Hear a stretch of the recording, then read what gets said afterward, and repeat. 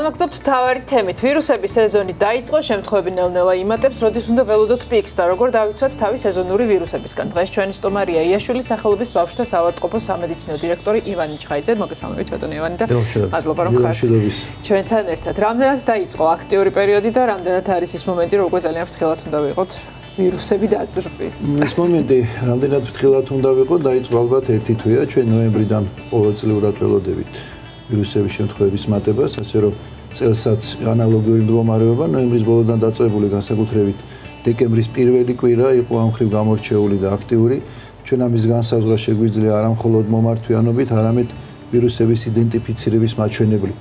სწორედ პირველ კვირას იდენტიფიცირდა ის 6 ვირუსი, რომელიც დღეს ლაბორატორიულად დადასტურებულად ითვლება, აქედან 4 არის B ტიპის ვირუსი, შედარებით ნაკლებად საშიში და ნაკლებად აგრესიული და ორი ატიპის ვირუსი, რომელიც მართლაც მიმდინარეობს ყოველთვის განსაკუთრებულად მძიმედ. კი, რამდენად მნიშვნელოვანი არის ლაბორატორიული ტესტირება, როდესაც თქვა რაღაც ვირუსის ნიშნები შევატყობთ ჩვენ? არანაირად აუცილებელი ტესტირება არ არის, როდესაც სეზონია, როდესაც ჩვენ ვიცით, რომ შემთხვევების მატება არის, სავსებით საკმარისია კლინიკური ნიშნები და ავადების გამოვლინების მიხედვით ჩვენ შეგვიძლია ვთქვა, არის თუ არა გრიპის ვირუსი, იმ ტიპის, რომელსაც ჩვენ A და B ტიპის ვირუსი ვეძახით, ასე რომ ტესტირების აუცილებლობა მხოლოდ იმიზით, რასაც დაავადებათა კონტროლი ახორციელებს აღრდენ ბაზებზე, მაგალითად ისეთზე, როგორც არის იაშვილის სამართლობა. ამას მხოლოდ და მხოლოდ თეორიული მნიშვნელობა, პრაქტიკულად მშობლისთვის და საზოგადოების არაფერს არ წყვიტა. ასევე A და B ტიპის ვირუსების გვერდით H1N1-ის შემთხვევაც დაფიქსირდა და ანუ ეს H1N1-ს ვერ ვაფიქსირებთ ზუსტად ჩვენ გვაქვს H1 ტიპის ვირუსი, სავარაუდოდ ალბათ N1-ია, მაგრამ ჩვენთვის თავარია ტიპირების განსხვავება A და B ტიპ შორის, რომელიც განსაზღვრავს მდგომარეობის სიმძიმეს და პროგნოზსაც.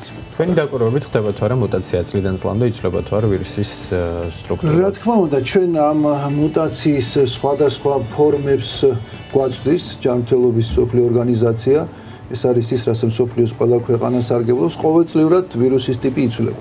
მაგრამ ის სერიოზული მუტაცია, რომელიც განაპირობებს ეპიდემიებს, ბოლო გახსოვთ 2009-2010 წელს იყო, მას შემდეგ ისეთი ცვლილება, რომელიც შეიძლება ფართო მასებში გამოიწვიოს გრიპის შემთხვევა არ ყოფილა და არც ველოდებით ამ გრიპის სერიოზულ მუტაციას გარკვეული პერიოდულობა ახასიათებს ჯერჯერობით ჩვენ სტანდარტულ აი ამ სეზონურ ტიპის ვირუსების დონეზე ვდგება. როდის იქნება, როდის არის მოლოდინი იმის, რომ პიკის მომენტი დადგეს და მაქსიმალურად მაღალი იყოს მომავალში? ის მონაცემი, რომელსაც გვადლებს დაავადებათა კონტროლის ეროვნული ცენტრი, კაფიოთ მიუთითებს დეკემბრის ბოლო და იანვრის პირველი ორი კვირის პიკის შესაძლებლობაზე.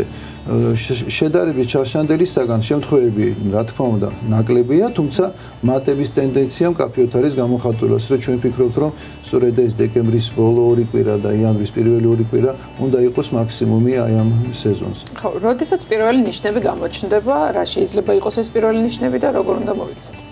გრიპის პირველი ნიშნები არ წარმოადგენს სირთულეს დიფერენცირებისათვის, ეს არის უეცრად დაწყებული მაღალი ტემპერატურა, თავის ძლიერი ტკივილი, თვალების ტკივილი, ყელის ტკივილი, იშვიათი ხველა, კუნთების ტკივილი, ანუ ადამიანის ზოგადი მდგომარეობა მკვეთრად იცვლება. სწორედ ეს არის გრიპისათვის დამახასიათებელი, რაც მას განასხვავებს მაგალითად გაციების ვირუსისაგან. ასე რომ, თუ ამ ჩამოთვლილი ნიშნები, როგორც ეს ისინი ყველა ერთად არის, არ შეიძლება ვთქვათ, მარტო ტემპერატურა იყოს და ყელი არ ტკიოდეს და თავი არ ტკიოდეს. როგორც ეს ეს ნიშნები ყველა ერთად აღინიშნება, ამ დროს უნდა ჩათვალოთ, რომ მით უმეტეს ეხლა, დეკემბრის პერიოდში თქვენ გაქვთ გრიპის ვირუსი. როგორ შეიძლება? თუ ხონდა, ბოდი შეიძლება ვკითხო, თუ ხონდა ადამიანთან კომუნიკაცია, რომელსაც ხონდა კონტაქტი ვირუსი, ვთქვათ, რამდენ ხანში უნდა ველოდოთ, რომ გადმოვა თუ არა ჩვენს ორგანიზმზე. ეს პერიოდი არის 1-დან 7 დღემდე. ყველაზე უფრო ხშირად მესამე, მეოთხე დღეს, ასე რომ თუ თქვენ სავარაუდო კონტაქტი გქონდა და 7 დღე გავიდა, შეგიძლია ჩათვალოთ, რომ გადარჩა. გაგიმართლა. უშუალო კონტაქტის მერე ეს 7 თვე 7 დღე გადავთვალოთ და 7 დღე უნდა გადავთვალოთ. და გადამდები როდემდე არის პაციენტი, თქვა ვისაც აქვს ამ ზუსტად ეს პერიოდია, მანდარესაც გქონდა მაქსიმალური გადამდებლობის პერიოდი, ეს პერიოდი აი პირველივე დღიდანვე უკვე რისკის შესაძლებლობა რა თქმა უნდა არის, მაგრამ აქ მთავარია რა დონის კონტაქტი, რამდენად ახლოს ახართ იმ ადამიანთან. მაგრამ გრიპი სწორედ მაგით განსხვავდება, თქვა სხვა ვირუსებისაგან, რა მაგალითად მე და თქვენ შორის მანძილი სავსებით საკმარისია, ჩემი თუნდაც საუბრის დროს თქვენ რისკის ქვეშ იყოთ, ამიტომ ამბობთ, მოერიდეთ ახლო კონტაქტს. უსაფრთხო მანძილი არის 2 მეტრი. თქვენთან საუბარი მე შემიძლია? შეგიძლიათ არენერვოთ აი ეკას ცოტა მე ვარ საშიში ხო მე მგონი შემდეგ გადაიმაში რა ქვია დილაში გადმოშდა ეკაში გამჩის ადგილს იმიტომ რომ მერაბის HP მაკრო ეგ სიმპტომები აქვს უკვე მერაბელე და მერაბის შემთხვევა იყო ზუსტად როდესაც თქვა თითქოს დაამარცხა მე მალევე მოუწია სამსახურში გამოსვლა მაგრამ რამდენიმე დღეში ტემპერატურა ისევ წამოვიდა. ეს რაღაცა მახასიათებელი არის კონკრეტულად ამ ვირუსის თუ უბრალოდ არასწორი ქცევა და რა ალბათ ცუდ გარემოში მოხდა. ერთი ტიპის ვირუსი შეხვდა შემდეგ ამ ვირუსმა დაამთავრა თავისი აქტიურობა და შეხვდა მეორე ტიპის ვირუსი და იგივე ტიპის ვირუსი არ შეიძლება თქვა A ტიპის ვირუსი ორჯერ არ შეიძლება ადამიანს შეხვდეს. დიდი ალბათობით ეს იყო განსხვავებული. რა რეკომენდაციები შეიძლება უთხრათ ჩვენ მაყურებლებს, რომ აი ამ შემთხვევაში თუ უკვე გვაქვს სიმპტომები და ვიცი დანამდვილებით რომ ეს ასეა. ერთი რაც ყველაზე მნიშვნელოვანია, მანამ სანამ სიმპტომები გამოჩნდება, რომ უნდა გავაკეთოთ, ეს არის ყველაზე მთავარი. ჩვენ წლიდან წლამდე ვიმეორებთ რომ ეს არის ნოემბერი, როდესაც ვაქცინაცია უნდა ჩაიტაროთ, იდეალური პერიოდი. ой, ვაქცინაცია რთული თემა არის წელს საქართველოში. რთული თემა არის, როცა უკვე გვიან არის, როცა ნოემბერში ვინც გადაწყვიტა, მისთვის ეს რთული თემა არ ყოფილა. იყო, ანუ ვაქცინა. იყო ვაქცინა, შეიძლება და ოსმა ჩვენთან დღემდე იაშვის კლინიკაში პრობლემა არ შექმნილა, ვაქცინები გვაქვს, მაგრამ რა თქმა უნდა, ამის შეხსენება მუდმივად საჭიროა. 3 და 4 კატეგორიანი ხო ვაქცინები, ანუ რა სხვაობა ამათ შორის და თქვა თუ ამ 4-იანს ვერ შევლობ, თქვა 3-იანი რამდენად საკმარისია. რა თქმა უნდა, სავსებით საკმარისია. განსხვავება 3 და 4 კომპონენტიან შორის არის B ტიპის ვირუსის საწინააღმდეგო მოქმედება. 4 კომპონენტიანი ვაქცინა შეიცავს ორ კომპონენტს, რომელიც მუშაობს A ტიპის ვირუსის საწინააღმდეგოდ, ორ კომპონენტს, რომელიც მუშაობს 2B ტიპის ვირუსი, ანუ 4 2A + 2B. სამის 2A ტიპის ვირუსი შედის და 1B, მაგრამ თუ გავითვალისწინებთ, რომ ჩვენ ყველაზე მეტად A ტიპის ვირუსის გვეშინია, ეს უბრალოდ ზედმეტი არის, თუ ჩვენ ახლა სადმე არის ვაქცინა და ეს არის სამ კომპონენტიანი, აუცილებლად უნდა არ დაელოდოთ მაინც და მაინც 4 კომპონენტია. B-ტიპის ვირუსი გამიმერებ არ მიმდინარეობს ისეთი აგრესიული კლინიკური ნიშნებით, ისეთი სიმძიმით, როგორც A-ტიპის ვირუსი. ასე რომ, რა თქმა უნდა, საკმარისია თუ თქვენ გაქვთ ესეთი ვაქცინა და ხელმისაწვდომია თქვენთვის უნდა აიცრათ სამკომპონენტიანი თაც. მაინც ასთან იყო კავშირში ესეთი დეფიციტი, თქვათ იმ პერიოდში, როდესაც თან აქტიური კამპანიის ფონზე, როდესაც ყოველს რეკომენდაციას ვაძლევთ, რომ უნდა გაიგეთოს გრიპის ვაქცინა. არ ვიცი, ძნელი სათქმელია, შარშანაც იყო ანალოგიური პერიოდი, გახსოვთ, ერთი რაც ყველაზე მთავარია, ჯანმრთელობის დაცვის სამინისტრო ყოველწლიურად ზრდის იმ ვაქცინების რაოდენობას, რომელსაც უფასო თურიგებს ეგრეთ წოდებულ რისკი ჯგუფებს.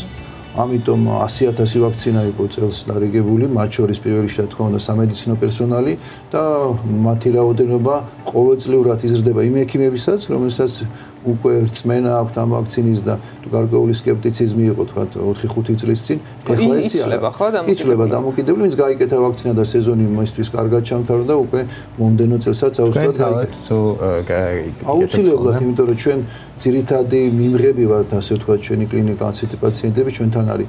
რესპირაციული მედიცინის დეპარტამენტი, სადაც ესეთი ბავშვები ძირითადად ხდებიან, ასე რომ ჩვენი ექიმები 250 იყო დღეს წელს იმ რაოდენობა სამედიცინო პერსონალს, ვინც გაიკეთა ვაქცინა, რა თქმა უნდა, ეს არის ერთ-ერთი აუცილებელი. მეორე კითხვა რაც თქვენ დასვით რა უნდა გააკეთოს? აქ დამოკიდებულება ალბათ უნდა განვასხვაოთ პირველ რიგში ბავშვის ასაკის მიხედვით. მოზრდილისთვის ეს ყოველთვის ესე არ არის. გრიპი ყოველთვის არ მიმდინარეობს გართულებებით, მაგრამ ბავშვებში ამის რისკი ძალიან მაღალია, განსაკუთრებით ეს ეხება 3 წლამდე ასაკის ბავშვებს, ასე რომ თუ თქვენ შულთან ის ნიშნები გამოვლინდა, უესრა დაწყებული მაღალი ტემპერატურიდან ხველით და ასე შემდეგ, აუცილებლად ჯობია რომ ექიმს მიმართოთ. მაგრამ მეორე არის გასათვალისწინებელი, თუ თქვენ რაღაც გართულების რისკი გაქვთ, ანუ უკვე ჩამოყალიბდა გართულება, ანტივირუსული პრეპარატი, რომელიც საქართველოში არსებობს და ეფექტურია, კარგად მუშაობს პირველი 48 საათის განმავლობაში. შემდეგ მისი ასე ვთქვათ დადებითი ეფექტი თანდათან იკლებს. ტამიფლუზია ლაპარაკი, ამიტომ რა თქმა უნდა ჯობია თუ თქვენ ციриასაკის ბავშვი ყავთ და ფიქრობთ რომ გრიპულად შეასოს ექიმა და გადაწყვიტოს სჭირდება თუ არა დამატებითი მკურნალობა. ამ გართულების პირველი ნიშნები რა არის? ამ გართულების პირველი ნიშნები, რისიც ყველაზე მეტად გვეშინი, ეს არის ფილტვების ანთება. ამნიშნებს თავიდანვე ვერ შეატყობს დედა. რამდენ დღეში შეიძლება წამოვიდეს? ეს შეიძლება განვითარდეს მეორე მესამე დღეს, ასე რომ მანდ არ არის ლაბარაკი, რომ თქვა 4-5 დღე ნახო როგორ იქნება და შემდეგ გართულდება თუ არა მივიღებ გადაწყვეტილებას არავითარ შემთხვევაში. ანუ პირველი დღეები, პირველი ნიშნებისთანავე ჯობია რომ ექიმაში აფასოს, არის თუ არა ფილტრებში რაიმე საეჭო, არის თუ არა უცილებელი რენტგენის გადაღება, ჰოსპიტალიზაცია რაც ყველაზე მთავარია, ასე რომ მანდ უკვე მცირე ასაკის ბავშვებს ჩვენ ყოველთვის ურჩევთ. არ არის დალოდინი კარგი არჩევანი. რაც უფრო სწრაფად მიხვალთ მიმართავთ ეკის, მით უფრო უკეთესია თქვენთვის. და როგორ გაუფრთხილდეთ თავს? ერთი არის ვაქცინაცია, ვთქვათ, ვინც ვერ მოასწრო ან ვინც გაიკეთა, მასაც მაინც სჭირდება რომ გარკვეული ღონისძიებები იმისთვის, რომ მაინც დაცულები ვიყოთ. პირბადე რამდენად დაგვიცავს და სხვა ასეთი ღონისძიება რა შეიძლება იყოს? პირბადე, ეს პირბადე, რომელსაც ჩვენ ვიყენებთ, არ არის პირბადე, რომელსაც შეუძლია გრიპის ვირუსის შეჩერება. თან ის პირბადე რომელსაც ვიყენებ თელ დღის განმავლობაში მით უმეტეს ამ ფუნქციას ვერ ასრულებს ეს პირბადე უნდა გამოიცვალოს ყოველი 2 საათის შემდეგ და თუ მაინც გინდა პირბადე ეს უნდა იყოს სპეციალური პირბადე მას თავისი ანტივირუსული პირბადეს თავისი ნუმერაცია აქვს და თიაქს ცალკე იყიდება ასე რომ ეს პირბადე რა თქმა უნდა რაღაც წილად დაგვიცავს მაგრამ მისი მეძე ყოფნა იქნება სრულიად დედა დანარჩენი ღონისძიებები რომელსაც ჩვენ ხშირად ვამბობთ ხოლმე ეს არის დაიბანეთ ხშირად ხელები, მოერიდეთ კონტაქტს, არ გაუშვათ ბავში იმ დაწესებულებას, სადაც უნდა აი ბავშთა ბაღიან სკოლა, ის უნდა იყოს ძალიან მაღალი დონის სიფრთხილე ექიმებისა და პედაგოგების მხრივ ბავშვი რომელსაც აი ყველა და ცემინება და სიცხე რა თქმა უნდა არ უნდა იყოს ესეთ ორგანიზებულ კოლექტივებში. ხშირად გაანიავეთ ოთახი, დაალაგეთ სახლის ველი წესი და ასე შემდეგ. ანუ ძალიან მარტივი შესაძლებელი ღონისძიებებია მანდ უკვე დამოკიდებულია თქო და შობლის განათლებაზე და მის ინფორმირებულობაზე, მაგრამ ეს მოქმედება ყოველთვის შედეგს მოიტანს. ძალიან დიდი მადლობა რეკომენდაციებისთვის, ყველას თქო და უსურვოთ ჯანმრთელობა ჩვენს მაყურებელს. და განშტოებით პოზიტიურ დღეს გისურვებთ.